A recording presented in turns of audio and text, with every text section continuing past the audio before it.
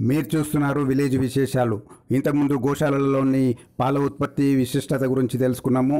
అలాగే ఆవుల యొక్క పేడ మరియు మూత్రము యొక్క లాభాల గురించి ఈరోజు మనము చర్చిద్దాము రండి. సార్ చెప్పండి.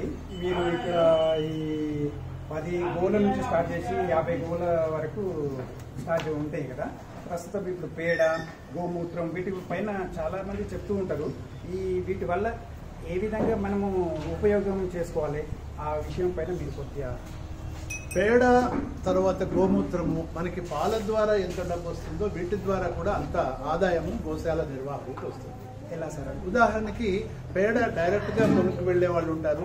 ఇళ్ళలో కల్లాపి చల్లుకునేందుకు రోజు కొనుక్కు వెళ్ళే వాళ్ళు మా దగ్గర ఉంటారు.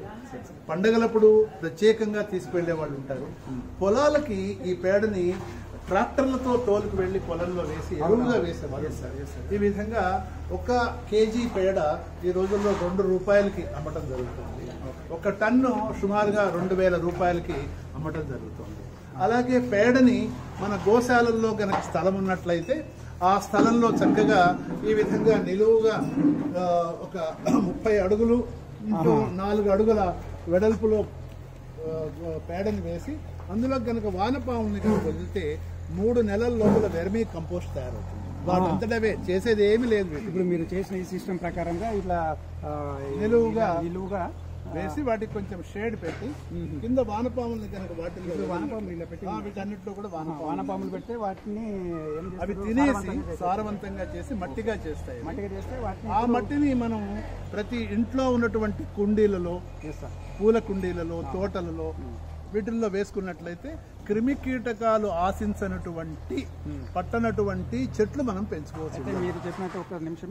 ఈ మిద్దె తోటలు అని చెప్పేసి ఈ మధ్య సిటీలో చాలా మంది ఇంటి ముంగట కానీ మన ఇంటికి అందాన్ని లేకపోతే ఇంటికి అవసరమైనటువంటి కాయగూరలు. తీసుకోవడానికి చాలా మంది ఉపయుక్తంగా వాళ్ళ పని చేసుకుంటారు వాటికి ఈ ఎరువు బ్రహ్మాండంగా పనిచేస్తుంది బ్రహ్మాండంగా పనిచేస్తుంది పెస్టిసైడ్స్ పెట్టకుండా ఎవరైనా సరే మంచి దేశీ ఆవుల పేడతో తయారైనటువంటి ఎరువు కనుక వాడినట్లయితే పాలే కాకుండా ఈ పేడను బ్రహ్మాండంగా ఆ, పనిచేస్తుంది అని చెప్పేసి మీరు పనిచేస్తుందండి ఇంకా వేరే కెమికల్ ఎరువులు ఏమీ అవసరం లేదు.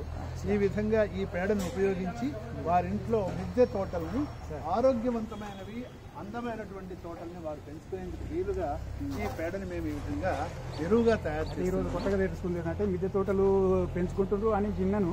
చూశాను కానీ ఈ వెనకాల మీరు అన్నట్టు వాళ్ళు ఏమి నేను వినలేదు.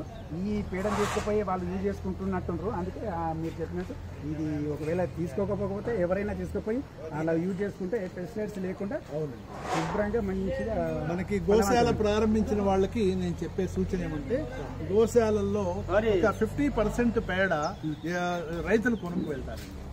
ఇంకొక ట్వంటీ ట్వంటీ ఫైవ్ పర్సెంట్ డైరెక్ట్గా పేడని కావాలని చెప్పి తీసుకువెళ్ళేవారు ఉంటారు. ఇళ్ళ ముందు రంగవల్లులు చల్లుకునేందుకు కల్లాపి కల్లాపి చల్లుకునేందుకు. అలా కాకుండా ఒక ఇరవై ఇరవై ఐదు పర్సెంట్ పేడ ఈ విధంగా మనం ఎరువుగా తయారు చేసి ఆ తర్వాత కావలసిన వారందరికీ మిద్దె తోటలు కావాల్సిన వారందరికీ కూడా ఈ విధంగా ఎరువుగా ఈ తోటలు ఈ పేడని తయారు చేసి ఇచ్చినట్లయితే వారు చాలా సంతోషిస్తారు. మనకి ఆదాయం వస్తుంది. ఆదాయంతో కూడినటువంటి ఇప్పుడు వాళ్ళు తీసుకుపోవడం వల్ల మంచి సారవంతమైనటువంటి ఎరువుగా వాళ్ళు ఉపయోగించుకుంటారు. ఈ విధంగా గోశాలని సమాజానికి అనుబంధం చేయడమే మా గోశాల పనిచేస్తున్న పని అంటే చుట్టూ ఉన్నటువంటి ఒక మూడు నాలుగు కిలోమీటర్లలో ఉన్న అనేక వేల మంది ఈ ఆవు పాలు తాగి స్వస్థ స్వస్థత చేకూర్చుకున్నారు ఓకే, అనారోగ్యం నుంచి ఆరోగ్యానికి వచ్చేసి ఉన్నారు వచ్చి గోమూత్రం తీసుకుని గోమూత్రాన్ని వేడి చేసుకుని వారు తాగుతూ ఉంటారు.